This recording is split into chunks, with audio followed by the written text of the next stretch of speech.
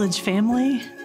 One of my passions is gardening, so I especially love it when biblical writers use agricultural metaphors for God's love and our life in Christ, as we find in Psalm 126.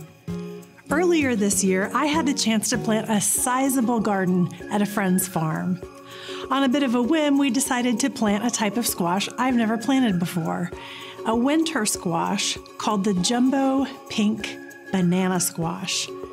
We put four little seedlings in the ground, not knowing what would happen, and lo and behold, they produced some seriously jumbo squash. I cooked one up last weekend, and that squash weighed in at 21 pounds and gave me over 19 cups of pureed goodness. That is more, in case that's hard to wrap a mind around, that's more than you'd get buying a whole case of canned pumpkin at Costco, all from one squash.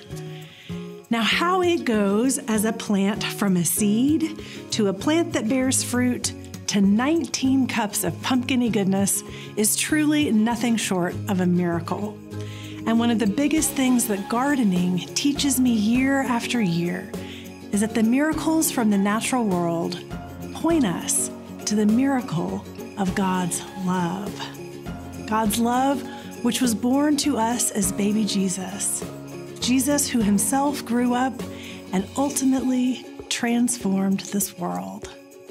There's so much to love this time of year between Thanksgiving and the season of Advent and the coming of Christmas. At the same time, the holidays can be difficult.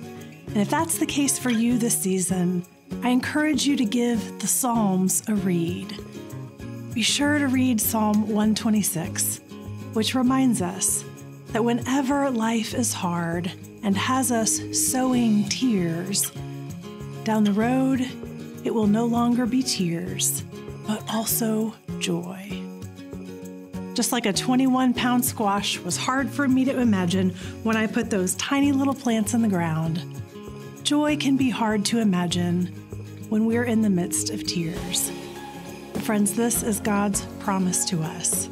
It gets better.